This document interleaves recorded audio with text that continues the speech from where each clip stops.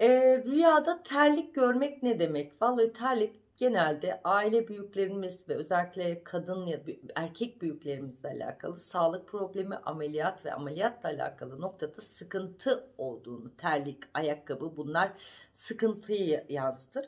Ama mesela diyelim ki kapı önünüzde terlik görüyorsanız bir cenaze haberi alacağınız ama ailenizin içinden o. Eğer evinizin içinde görüyorsanız aile büyüklerinizle alakalı sıkıntı yaşayacak.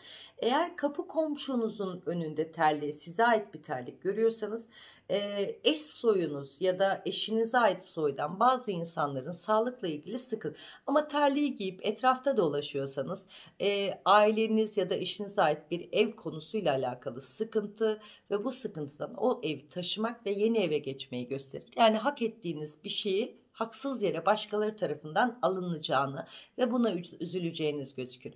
Evet sevgi ve mutlulukla kalın. Allah'a emanet olun.